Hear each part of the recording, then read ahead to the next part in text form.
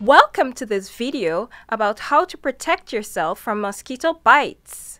Mosquitoes are some of the most common and annoying pests in the world, and they can also transmit serious diseases like malaria, dengue fever, and Zika virus. In this video, we are going to demonstrate some tips on how to keep mosquitoes away from you and your family by utilizing some eco-friendly antiseptic home remedies. So let's get started. Here are the materials you will need.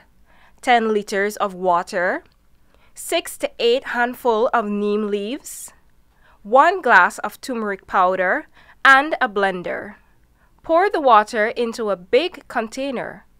Strip the leaves off of the stem and place it into the water. Pour the turmeric into the mixture and stir it all together.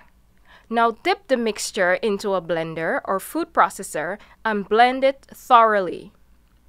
Pour the solution into a spray bottle and spray the corners of your home. Please ensure to spray the dark areas and creases as well. You can also place the leaves at the corners of your home to prevent mosquitoes from entering. By following these tips, you can help to keep yourself and your family safe from mosquito bites and the diseases they can transmit.